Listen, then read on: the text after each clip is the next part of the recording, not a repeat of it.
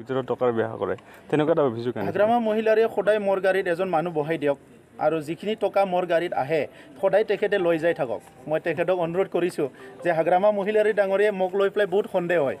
কেতিয়াবা মানে শ্ৰীৰামপুৰৰ কথা কয় কেতিয়াবা মানে ছেক্ৰেটাৰীৰ কথা কয় কেতিয়াবা তেখেতৰ খুলখীয়ালৈকে অফিচৰ কথা কয়। চ' মই হাগ্ৰামা মহিলাৰীক অনুৰোধ কৰিছোঁ যে এজন মানুহ দিয়ক তেখেতে পৰিয়ালৰে কোনোবা এজনক দিয়ক তেখেতে মোৰ গাড়ীত সদায় বহি থাকক একেলগে ঘূৰক। যিমান পইচা আহে তেখেতে সদায় গধূলি লৈ যাই থাকিলে হ'ল। তেতিয়াতো সমাধান হৈ গ'ল নে কি? চ' তেখেতে এনেকুৱা অভিযোগে আনি থাকিব যি মানুহৰ কৰ্ম নাই যি মানুহৰ কাম নাই যি মানুহৰ কোনো উদ্দেশ্য নাই সেই মানুহবিলাকে এনেকৈ আবুল তাবুল বকি সমাজক বিপথে পৰিচালনা কৰাৰ বাহিৰে একো নাই। আমাৰতো একো নাই ক'বৰ কাৰণে আমিতো কামেই কৰি আছোঁ। চ' আমি কাম কৰিবলৈ আহিছোঁ কাম কৰি যাম। তেখেতৰ হ'ল দায়িত্বটো কমপ্লেইন কৰা। আজি চাওক ইমান যদি ৰেচপনচিবল ব্যক্তি হয় তেখেতে আঢ়াই বছৰ হৈ গ'ল আজিলৈকে এছেম্বলিত অহা নাই। সেই যিদিনা মানে প্ৰথম চৰকাৰ গঠন কৰিবলৈ হামলা দিবলৈ আহিলে তেখেতে আক্ৰমণ কৰিবলৈ তাৰপিছত আঢ়াই বছৰ অহা নাই তাৰমানে তেখেতে কিমান দায়িত্ব মানে থকা মানুহ?